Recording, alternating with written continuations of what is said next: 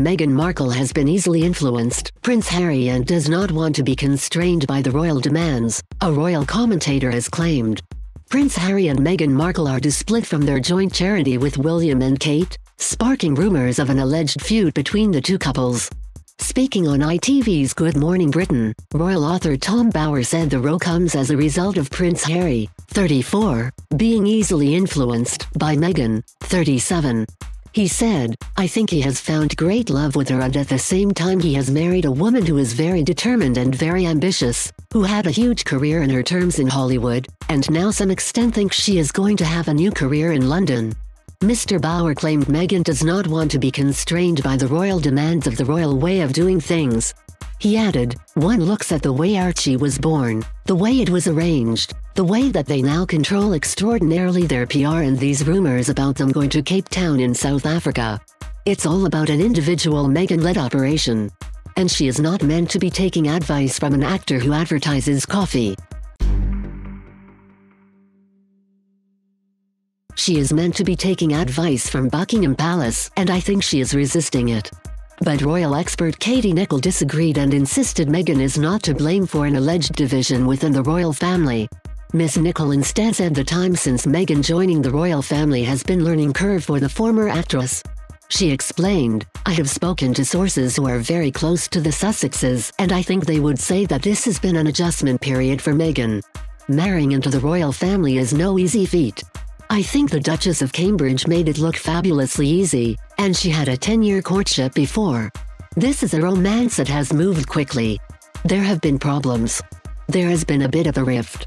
There was a point, I understand, where the brothers weren't taking. I also think there has been a dependency in the media to pit these duchesses against each other. I've said it before but the idea of two duchesses feuding is much sexier than two brothers that have actually fallen out over something. So, I think there have been tensions, but I think this is part of a learning process. Miss Nichols said a division of the Royals Charitable Foundation is simply the next step for the couple. The Royal Foundation was set up in 2009 by Prince William and Prince Harry with Kate, Duchess of Cambridge joining in 2011 after her royal marriage in 2011. Last February, nine months after Harry's marriage to Meghan Markle, all four made an appearance at a forum. The charity announced the split in a statement on Thursday, claiming the decision had been taken following a review of the charity's structure.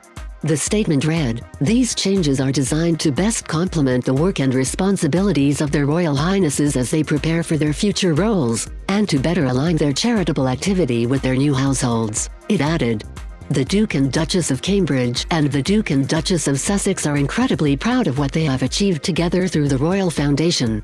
The couples are said to have had several clashes over the last year, with royal expert Katie Nicholl claiming both Harry and William were not speaking to each other for a while.